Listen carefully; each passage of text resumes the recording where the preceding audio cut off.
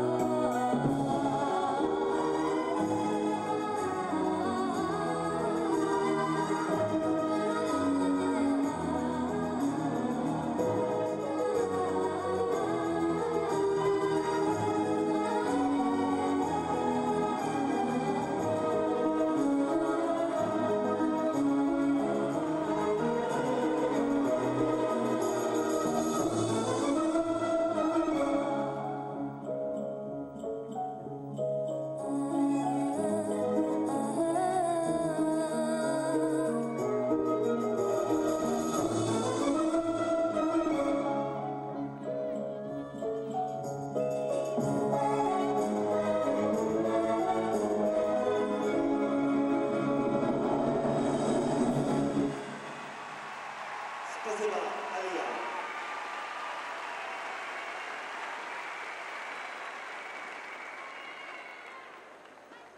En Alia is, zoals u ongetwijfeld weet, de regerend wereldkampioen.